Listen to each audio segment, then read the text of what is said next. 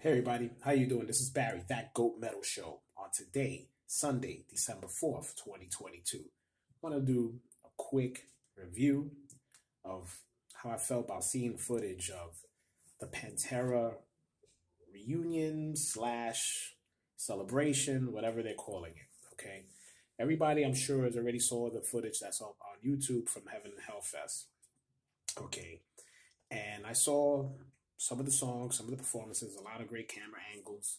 So, you know, can't say it's probably just because of the filming or whatever the case may be. But from what I saw, uh, I wasn't really too happy with it. I mean, you could pretty much see that Phil Anselmo just can't really do what he used to do. I mean, he's had issues with his back and so on. I mean, you start thinking about Pantera, you just think back when they were exciting band to watch. They were lively. They used to push the crowd to get busy, and you know, it, it just you know, and then you know, Zakk Wylde, great guitarist, okay, but you start nitpicking on some of the stuff that he's doing, and I'm hearing the songs and I'm listening to the way he's playing them, and it's almost like he's trying too hard. And that's really messed up. He shouldn't, you know, you should still, if, if this is a celebration and you just just play, man. People are gonna enjoy it. You know, don't look so stiff up there. You know, you're looking kind of stiff. Um, I don't know, man. Uh, I, I don't know. I, I, I didn't really enjoy it. I didn't enjoy the, the, the performances. I mean, sound okay, but um, I don't know. I, that's just my feel on it.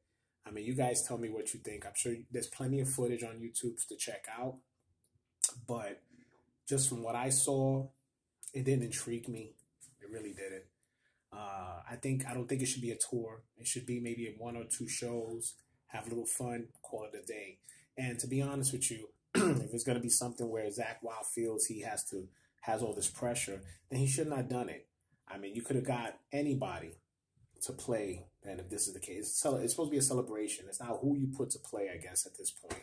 You know, Charlie Benante sounds good on drums, so I'm not even gonna go there with the drum. The drumming sound great. Um, you know, Phil, like I said, Phil, you know, yeah, he, he's getting up there. So, uh, you know, plus again, I know he has stuff with his injuries and stuff like that, so he just can't be jumping around like he used to.